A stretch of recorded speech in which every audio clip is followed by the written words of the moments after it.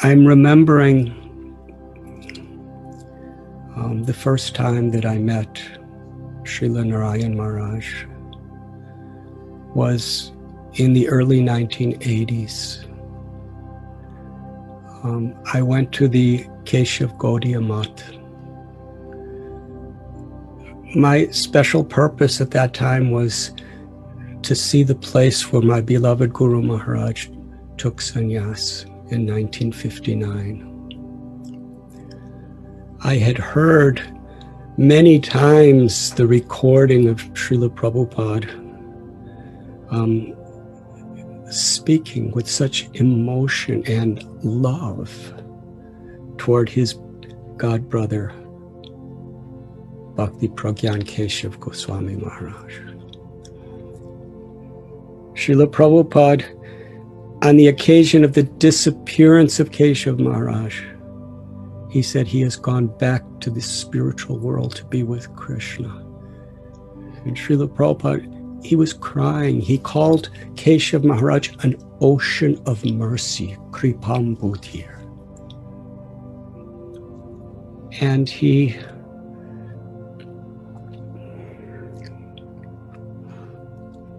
he declared that on behalf of his Guru Maharaj, Srila Bhakti Siddhanta Saraswati Thakur Prabhupada, Keshav Maharaj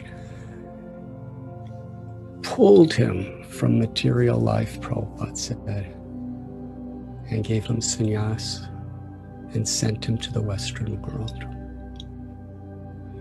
So while I was in the temple room where that historical pastime took place, meditating, praying, um,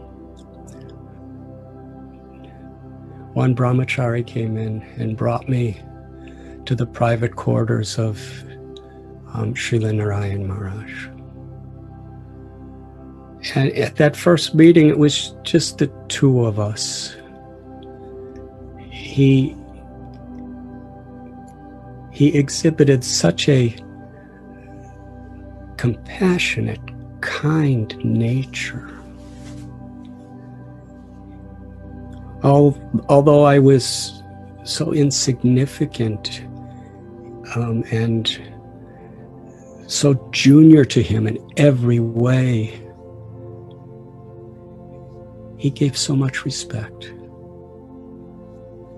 And I could understand, and he told me himself, that because of his love for my Guru Maharaj, Srila Prabhupada, because I was Srila Prabhupada's follower, um, he was giving me so much honor and respect. Um, that moved my heart forever.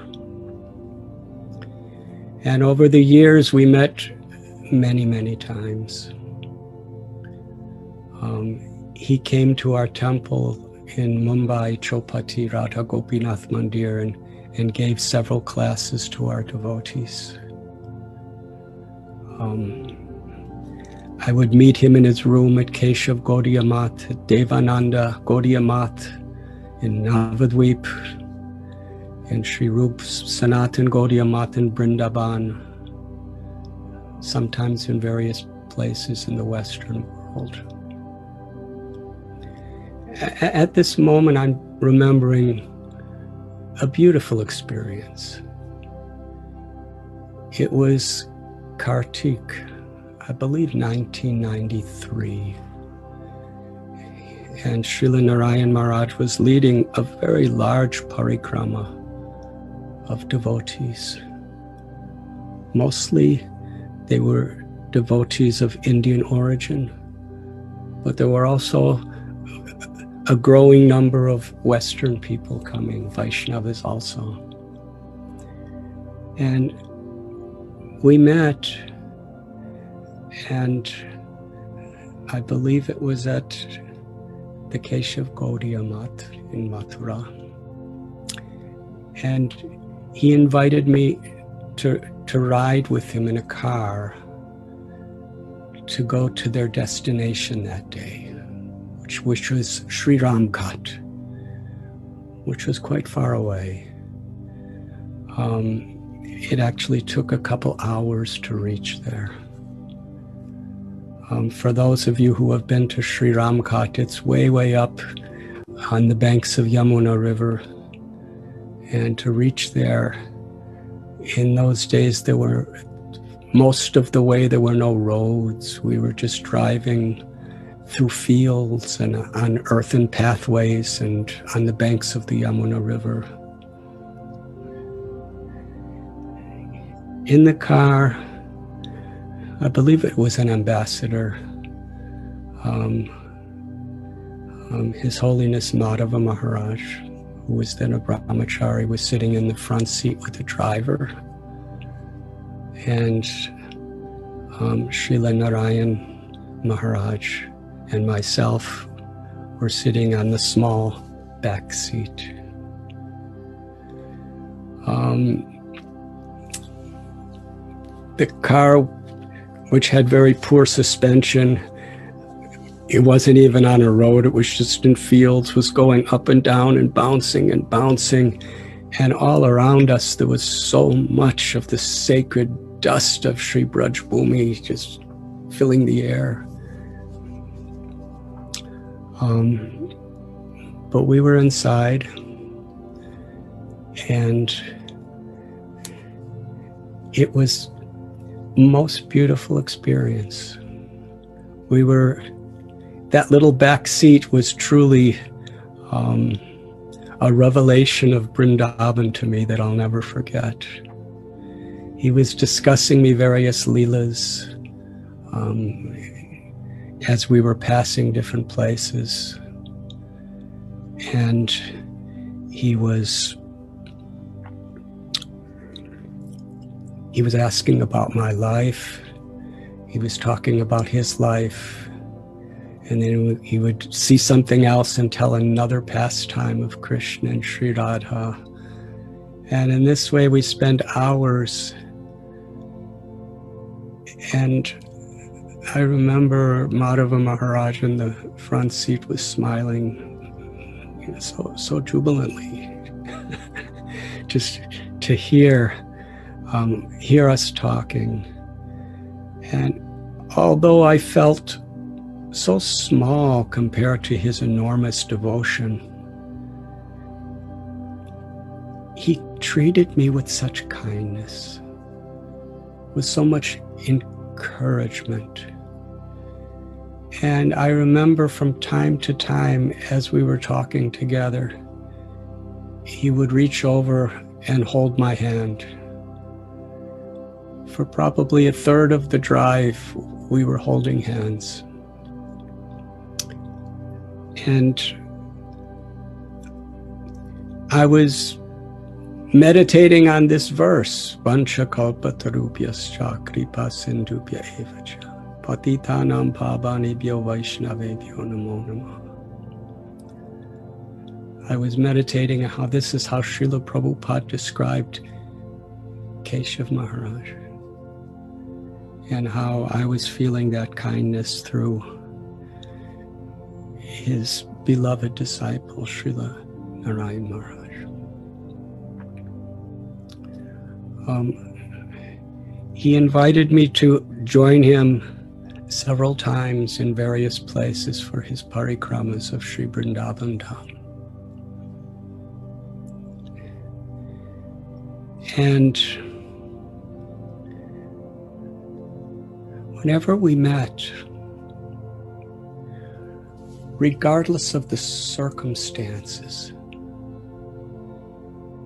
it was always so sweet and filled with the experience that I read about in Sri Chaitanya Charitamrita. I'm remembering another time, it was in the Western world where there was an ISKCON festival with leaders of ISKCON. Just down the road from a festival um, of Srila Narayan Maharaj and about a hundred followers. And this was a this was at a time after this inconceivable tension was created between the two um, families.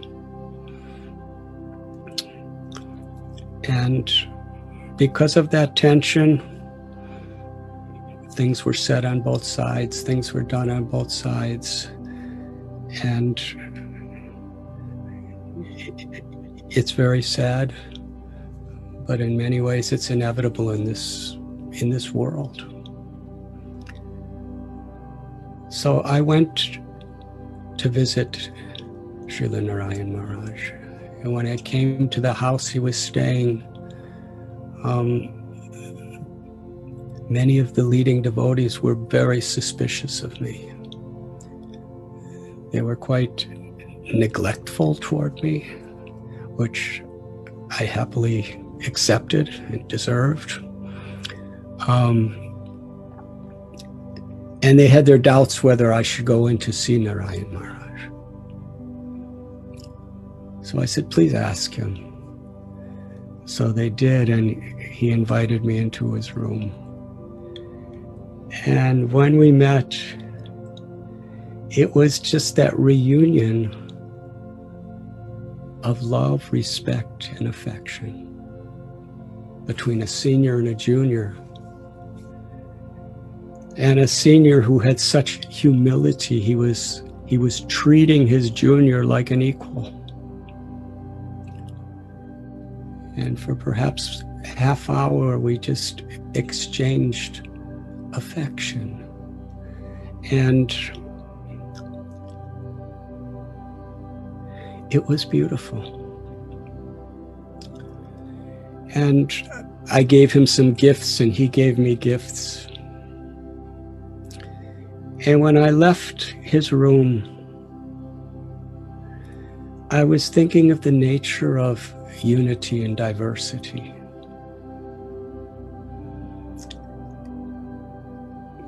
The very basis of true Vaishnav etiquette is love. The idea of love is not just a sentimental thing. It's the ultimate goal of life. It's the singular thing that we as Vaishnavas are aspiring for. And Bhakti Yoga is the path to prema. It's in how we express our love that Krishna reveals his love. Mad Bhakta Pujabhidika, and Krishna accepts our love especially through how we love his devotees. And as I was walking out of his room that day, I was thinking like this that whatever the energies around us are creating, there may be confusions, there may be disruptions, there may be conflict, there may be misunderstandings, there may be aparads in the air. But the simplicity of the love and the affection between devotees is sacred. It is beyond all these things. And in the many times since then that I had the wonderful fortune of meeting with Srila Narayan Maharaj, sometimes at Rup Sanatan Gaudiya Math, various places. That was always the spirit. At one time, you know, things were being said between the camps, and I, and I, um, and I came to meet him, and he considered to me, me to be a, a representative of ISKCON and um, in a in a very fatherly way, he chastised me. and um, I said, Maharaj, I just I didn't come as a representative of anyone. I just came as somebody who loves you and, and wants to wants your association, nothing else. And um, and he continued to chastise me as if I was like the um, personification of the GBC or something like that. And um, and I sat and I listened and you know, I've given my heart and my life to the mission of Srila Prabhupada um, in the form of ISKCON. And, and he knew that. And he appreciated that.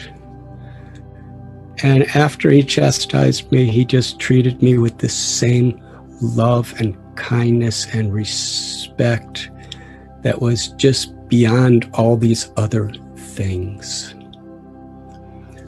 Um, and I, am speaking this today because these types of experiences have has very much made me um, who I am in in the way I I try to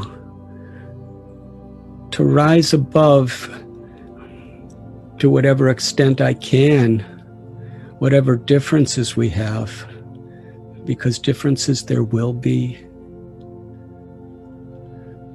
And where, where is that place beyond it all? It's the love, the respect, the affection, and the kindness that we're meant to share with one another. In Brindaban, there are conflicting camps between various um, wings of gopis. but it's it's all based ultimately on love. How to remain faithful to the mission we've given our hearts to, faithful to the divine grace of the Guru that has that has saved us and at the same time recognize, appreciate, and love the experience that other devotees in other missions are having with one another.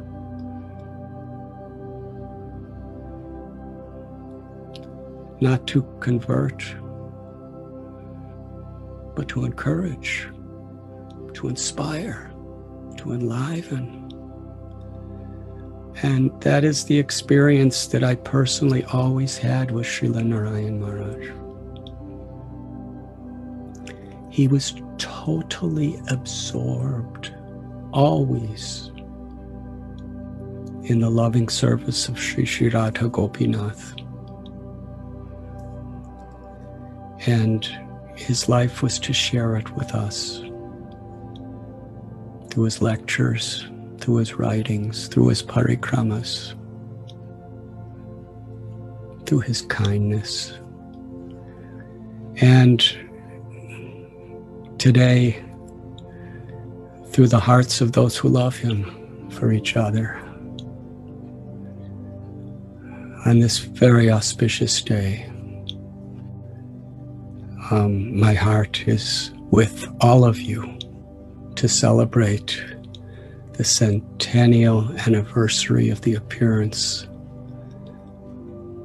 of Srila Bhaktivedanta Narayan Maharaj. Thank you for this opportunity to speak some words. Vanchakalpatarubhyascha kripa sindubhya evacha patitanam pavanebhyo vaishnavebhyo namo namaha.